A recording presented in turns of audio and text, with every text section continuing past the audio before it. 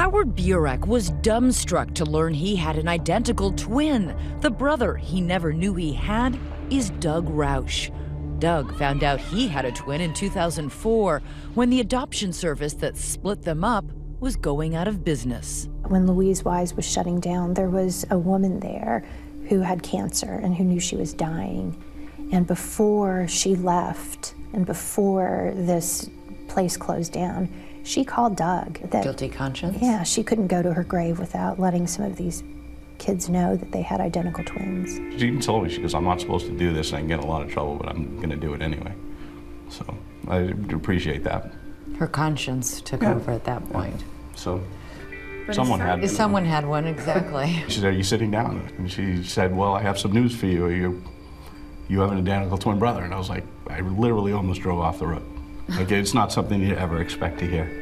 Doug gave the agency his number and waited anxiously to hear from his identical twin brother that he'd never known he had. Arriving at the airport in Columbus, Ohio, a long delayed reunion. my God. Oh. How you doing? How you doing, man? Two years after finding out his brother existed, Howard is finally getting to meet him in person. Get in the mirror. Yeah, it's definitely an eerie feeling. Every time I look at you, and I, I just want to out of phone yes. the, the mind thing going on. And it's just like you're looking at yourself in the mirror, and I think we hit it off, you know, right away, and you know, instant connection. I felt like I knew Doug my whole life. Yeah. Their lives began as a single cell that split into two. They share almost identical DNA. As they compared the lives they have led separate and apart, they noticed patterns. He is very laid back and he's very sincere. Doug is very laid back. I always make the joke that sometimes we have to check his pulse to make sure he's still living. Howard's ideal date night is going to a five-star restaurant and getting prime rib. Steak is his favorite food. When they first met each other, they, it was just like they always knew each other. Doug would always look at me and say, wouldn't it be cool to be twins, uh, have twins? I always thought it would be cool to be a twin.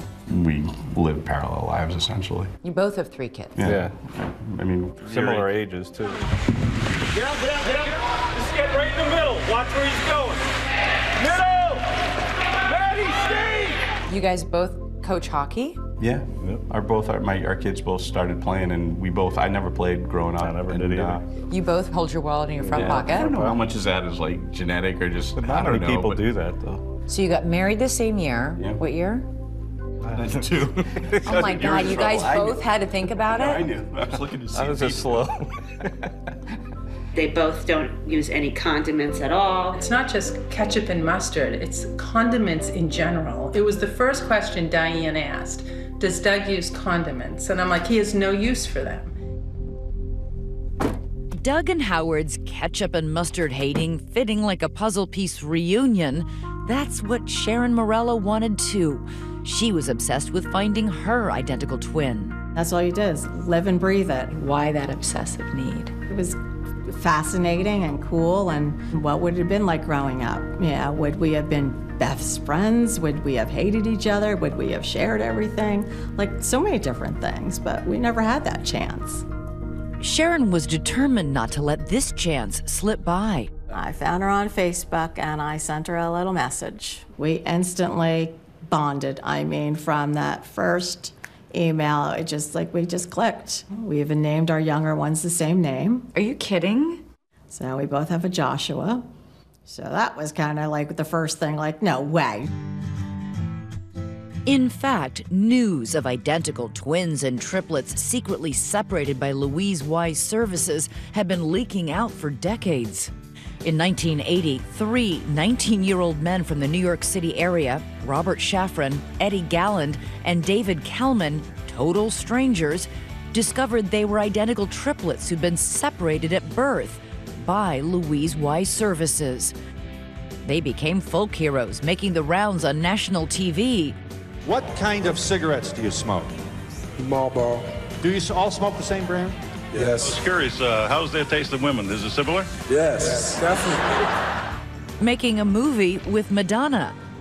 And a stop here at ABC on Nightline in 1989. Did you laugh as much before you knew one another? I don't think so. I don't think we were ever this happy. serious. I don't think we were ever this happy. Oh, this is a magic moment, guys, with the violin. this magic Really? moment. Uh, it really completed our lives. But as all these identical siblings get reacquainted, they all discover they had one more thing in common something strange, something uncomfortable. Do you ever remember um, having people come over to the house to observe you? I do remember just a person coming, and I remember like looking at books. You know, they would show me different pictures. I would have to say, what, what did I think that picture was? Each of them has vague, unsettling memories of intrusive strangers coming to visit throughout their early childhood. People would come to my house and they would film me and they'd make me ride my bike and they would, you know, do this test and that test. What did they ask you to do? All kinds of psychology tests and drawing and just looking at things and ink blots and drawings and talking to you and asking questions. And I was a, kind of a shy kid and, you know, you had people asking you questions and asking you to do stuff. It was a little bit horrifying. It turns out, after the twins and triplets were secretly separated, they were then enrolled in a mysterious psychological study, without so much as a word of it whispered to their unsuspecting adoptive families. They made it sound like uh, this was to everybody's benefit to see how smart this kid is, because I don't know him. Here we're adopting a child, we don't know him, we don't know his background. But it never dawned on me why are they coming back so many times?